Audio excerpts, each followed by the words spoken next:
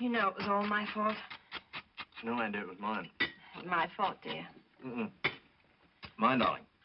I shouldn't be jealous so much, and I should uh, lay off your family. A wife should conduct herself to please her husband.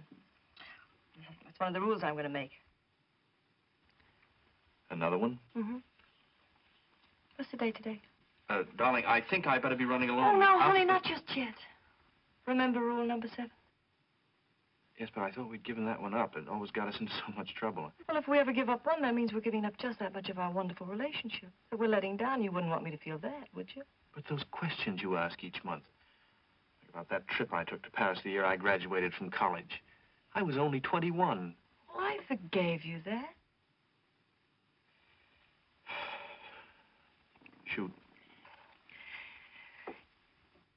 If you had it all to do over again, would you have married me? Honestly, no. Not that I'd want to be married to anyone else. But I think that when a man marries, he gives up a certain amount of freedom and independence. If I had to do it all over again, I think I would stay single. You wanted me to answer you truthfully because we respect each other. We're honest with each other. Your feelings aren't hurt, are they? No, no, it's perfectly all right. It's enough of that. I was getting into trouble. I'm not angry in the least. Oh, yes, you are. You don't understand. I was only answering a hypothetical question of what I would do if I had to do it all over again. David, if you want your freedom, I don't want to be the kind of a wife who clings to her husband when she's not wanted. Darling, I do want to be married to you. I love you. I worship you. I am used to you. How do we always get into these things? Well, if my only hold on you is that you're used to me. Darling, you've got the whole thing wrong. I don't know what I'd do without you. You are my little girl. I... Now, don't cry. Don't cry.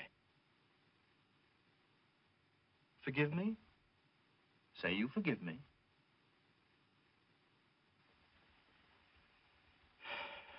Now can I go to work?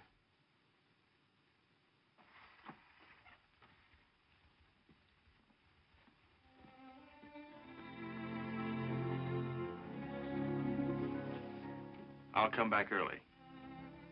And I mean early. Don't work too hard, darling.